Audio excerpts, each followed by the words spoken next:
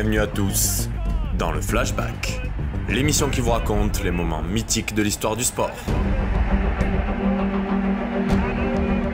Le rugby n'est passé professionnel qu'à partir de 1995. Mais son histoire, elle, est bien plus ancienne.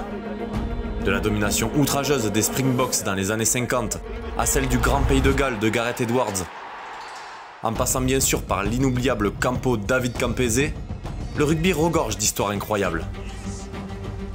Mais pour nous, Français, aucun souvenir n'égale celui du Mondial 1987.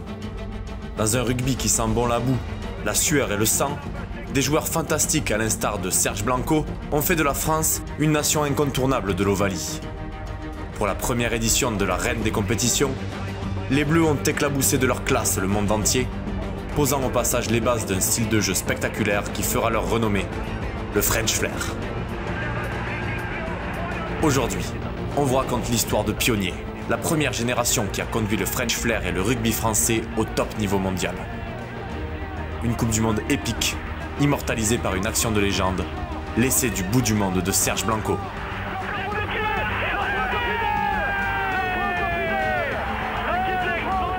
Alors enfilez votre casque et votre protège-dents, direction le Concorde Oval de Sydney en ce 13 juin 1987. Vous êtes prêts? Let's go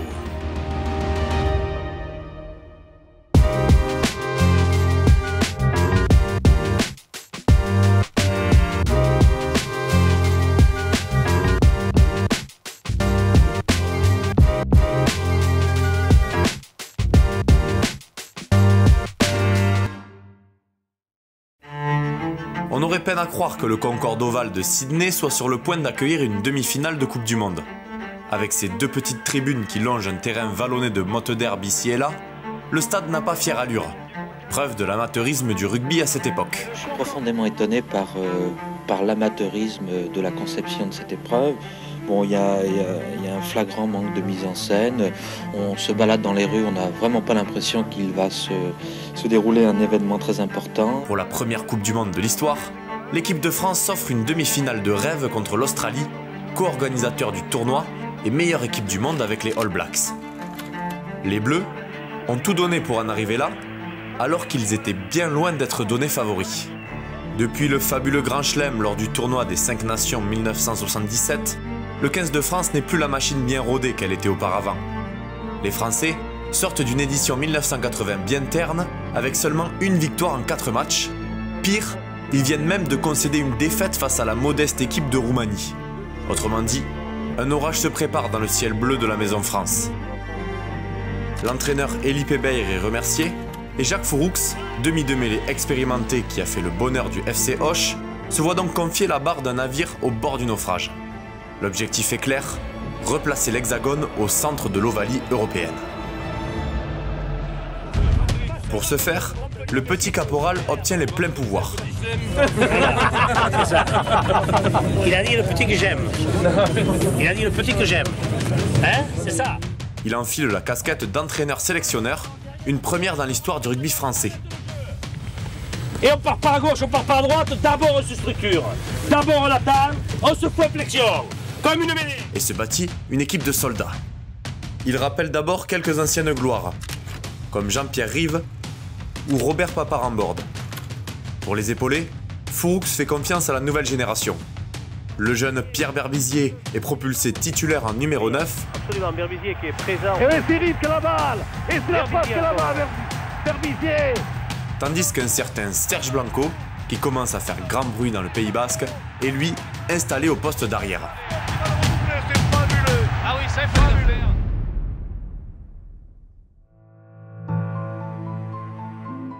La révolution maintenant en marche, le 15 de France se présente au tournoi des 5 Nations 1981 avec pour ambition de redorer son blason. Et autant dire que les joueurs de Jacques Fouroux vont dépasser toutes les attentes. Les Français réalisent leur troisième grand chelem, conclu en apothéose sur les terres ennemies dans l'enfer de Twickenham. Pardon, pardon, Colognou, une passe retournée et pardon va marquer une splendeur. Une splendeur merveilleuse. En un rien de temps, le petit caporal métamorphose les Bleus en une équipe de top niveau. C'est fini Troisième grand chelem pour la France Et 38 ans plus tard, l'émotion est toujours au rendez-vous. Sous son mandat, les tricolores ne finissent jamais en dessous de la deuxième place du tournoi. L'ancien demi de mêlée est un personnage très caractériel et strict, mais aussi et surtout un vrai leader, qui sait comment tirer le meilleur de ses hommes? Enfin stratège, le Gersois a constitué un groupe aussi solide que solidaire, qui adhère complètement à sa philosophie de jeu. Les leaders du Grand Chelem 1977 partent progressivement à la retraite, mais ils sont remplacés au pied levé par une génération encore plus flamboyante. L'expérimenté talonneur à genêt Daniel Dubroca prend le capitanat et mène une première ligne rugueuse mais efficace en mêlée. Derrière lui, Laurent Rodriguez se révèle comme un digne successeur de Jean-Pierre Rive, emmenant avec lui un des meilleurs packs du monde.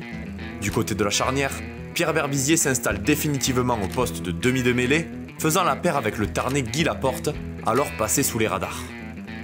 La ligne arrière est quant à elle dynamisée par l'incomparable Philippe Sella, aux côtés d'autres gazelles comme Denis Charvet ou Patrice Lagisquet. Mais le leader, celui qui fait que cette équipe fait partie des plus réputées, c'est Serge Blanco. Considéré alors comme un, si ce n'est le meilleur joueur du monde, il est la pépite sur qui repose l'attaque du 15 de France. Le genre de joueur à qui on donne le ballon pour se sortir de la panade. Pendant que le 15 de France cartonne, les institutions du rugby mondial ressortent une vieille idée du tiroir. Longtemps repoussée pour l'impact qu'elle aurait sur l'amateurisme de la discipline, l'initiative d'une Coupe du Monde est finalement réexaminée, puis adoptée. Pour cette première édition qui se tiendra en 1987, c'est la Nouvelle-Zélande et l'Australie qui sont choisis pour organiser le tournoi.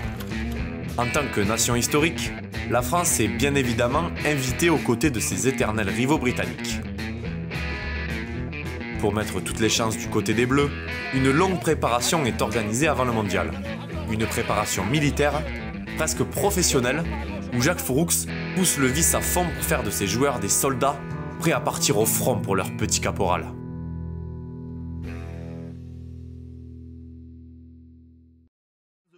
Cependant, l'engouement médiatique est loin d'être au rendez-vous. L'arrivée des Français en Australie se fait dans l'anonymat le plus total. Même les journaux français n'accordent que peu d'importance à ce 15 de France, si ce n'est pour afficher leur scepticisme. All Blacks, non Connais pas Connais pas, non Footballeur euh, américain, non Loin d'être découragés, les coéquipiers de Serge Blanco arrivent au pays des kangourous avec le plein de confiance. En effet, en l'absence de l'Afrique du Sud, les Français sont derrière les autres Wallabies et All Blacks la principale force en présence. Ils viennent de remporter le tournoi des 5 nations, réalisant même un grand chelem en prime. Aucun doute possible, l'équipe de France fait partie des favorites et n'est pas venue jusque dans le Pacifique pour jouer les seconds couteaux. Pour leur entrée en matière, les Français doivent faire face à une équipe qu'ils connaissent bien, un 15 du Chardon redoutable qui a échoué à la seconde place du tournoi des 5 nations et qui compte bien jouer un mauvais tour à leurs voisins européens. Et le match commence de la pire des manières, avec un essai écossais dès la deuxième minute. Après une première période compliquée, les Bleus prennent les commandes grâce à leurs arrières. Philippe Sella inscrit le premier essai tricolore, imité quelques minutes plus tard par son demi de mêlée Pierre Berbizier.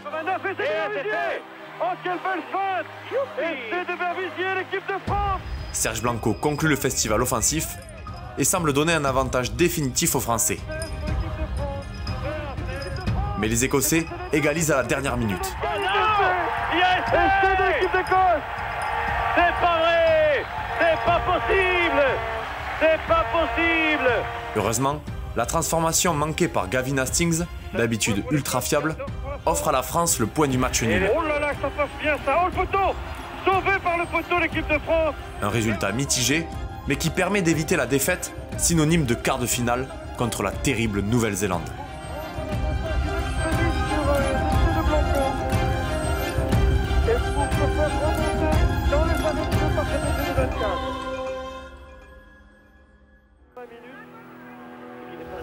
Les deux matchs suivants face à la Roumanie et le Zimbabwe sont beaucoup plus tranquilles. Deux florilèges d'essais qui leur permet de finir en tête de leur groupe et donc d'éviter les Blacks, grands favoris de la compétition. Après une phase de poule contre des équipes bien connues du 15 de France, il est l'heure pour nos bleus de faire le grand saut dans l'inconnu. Opposés aux Fidji, ils partent sur le papier grandissime favoris, mais dans les faits, ils ne savent pas à quoi s'attendre. Leur adversaire du soir ne joue que très peu contre les équipes de l'hémisphère nord. Décontenancés, les joueurs de Jacques Fouroux vont d'ailleurs mettre une mi-temps à s'acclimater au jeu fidjien. Un jeu imprévisible où même les piliers se muent en ailier. Oui Et c'est Fidjien Et c'est Fidjien marqué par Corol Et c'est Fidjien Après avoir reçu un bon savon dans les vestiaires,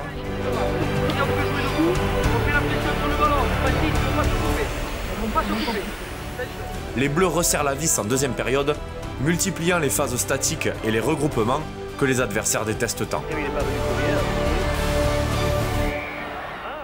Grâce à la puissance de leur pack, les Français réussissent à s'extirper du piège fidjien et se qualifient pour les demi-finales.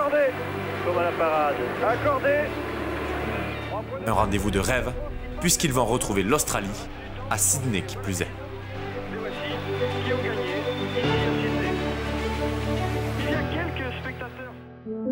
Mais malgré la victoire, le petit caporal est loin d'être satisfait. Le sélectionneur est très remonté après la prestation défensive catastrophique de ses joueurs. Et il compte bien le faire savoir. De toute la tournée, on n'a jamais fait des entraînements de, ce niveau, de ce niveau de, de sérieux, d'enthousiasme. Et ce qui fait que bah, le match contre les Australiens, on va le jouer avec, avec une énorme envie de vaincre. Pour le rendez-vous contre les Wallabies, plus question de titulaire indiscutable. Désormais, pour avoir sa place sur le terrain, il va falloir se battre, quitte à devoir marcher sur les copains. Durant la semaine qui précède le match, les Bleus se voient infliger un stage commando où la tension est maximale. Pas le choix quand on connaît l'enjeu de la rencontre, alors le match le plus important de l'histoire du 15 de France. Le mardi, à l'entraînement du mardi, donc euh, il pète un câble un peu, là, et comme quoi ça lui arrive. Il pète un câble et il dit voilà, il n'y a plus de titulaire, il n'y a plus rien, je fais deux équipes et je, prends les 15 meilleurs. On fait un entraînement sur un demi-terrain. Un truc de fou. Un truc de malade.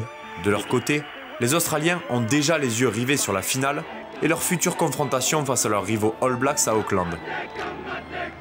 Pour eux, le 15 de France n'est qu'une répétition générale avant le grand final. La confiance, c'est bien, mais attention tout de même à ne pas trop en abuser.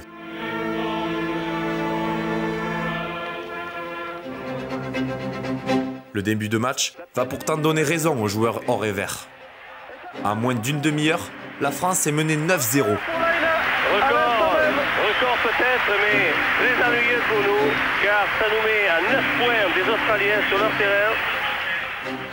Autant, les Bleus ne semblent pas plus affolés que ça. Juste avant de rentrer au vestiaire, le deuxième ligne Alain Lorieux permet aux siens de revenir à 3 points d'écart grâce à un essai inscrit en force.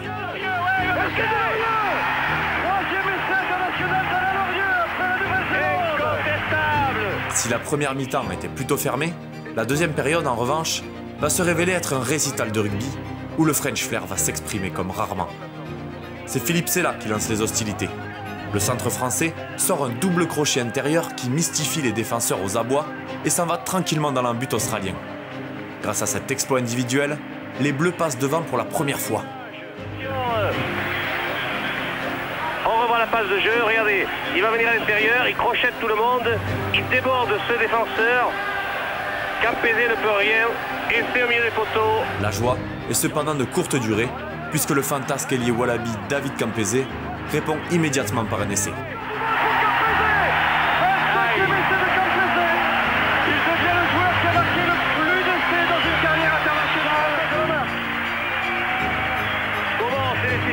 Tour à tour, les deux équipes se rendent coup pour coup.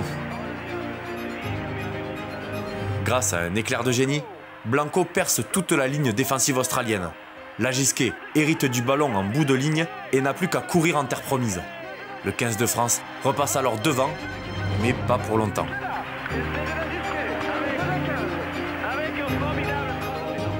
Dix minutes plus tard, c'est au tour de l'Australie d'inscrire un essai, puis une pénalité qui leur permet de prendre les rênes.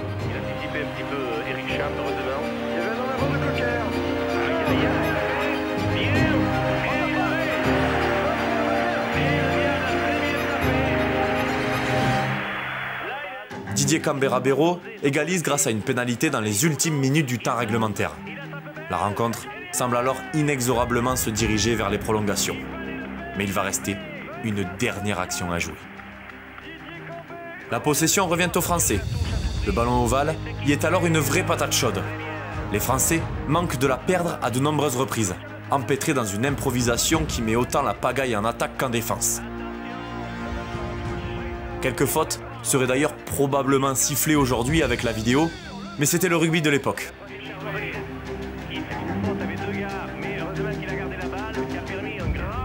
Après une énième phase de jeu rocambolesque où l'INAG manque de peu de chipper le ballon, Serge Blanco est envoyé sur orbite et s'en va inscrire l'essai. Un essai du bout du monde.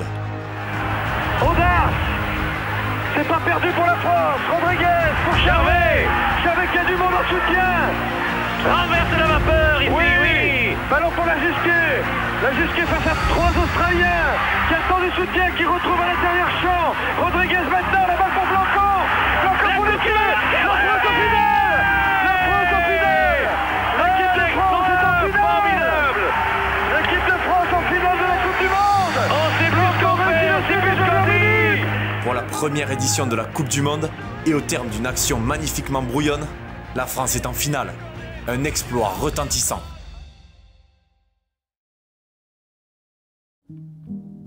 Malheureusement, en finale, l'histoire n'est pas si belle. Après avoir réalisé l'impossible, les Français n'ont plus la même niaque. Peut-être trop confiants après avoir battu l'Australie ou trop désinvoltes.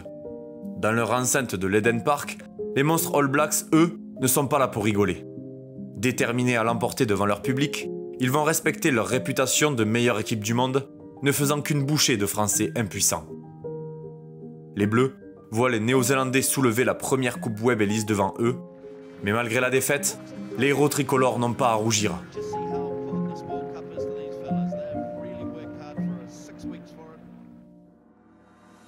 Après tout, pour eux, la compétition est déjà plus qu'une réussite. La fierté d'avoir représenté la France, d'avoir fait partie de cette épopée historique et de ce match légendaire va bien au-delà de la victoire finale. Cette rencontre reste d'ailleurs encore aujourd'hui comme un des plus grands matchs de l'histoire de l'équipe de France et même du rugby. Cette équipe, c'est aussi et surtout une bande de 25 copains. Le rugby était encore loin d'être professionnel et même s'ils y vont avec la fervente envie de gagner, c'est surtout prendre du plaisir entre frères de jeu qui est important. Participer à cette Coupe du Monde, arriver jusqu'en finale, c'était déjà un rêve qui devenait réalité pour chacun d'eux. Dans la vie, ils sont forgerons, marchands de pommes de terre, paysans, profs, commerçants, ouvriers. Mais une fois sur le terrain, ce sont tous des morts de faim, des soldats prêts à tout donner pour faire briller le maillot bleu. Les premiers héros à participer à une Coupe du Monde. Les pionniers d'un style de jeu qui fait aujourd'hui notre fierté. Pour briller face aux meilleures équipes de l'époque, il aura fallu du courage. Il aura fallu du French flair. Il aura fallu aller la chercher. Au bout du monde. C'est la création d'un tournoi international, appelez-le Coupe du Monde comme vous voudrez, mais enfin, je crois que c'est un événement historique. Dans les 22 mètres du Zimbabwe, Franck Menel, avec le soutien et essai. Essai de Rodi Modin pour son premier match international.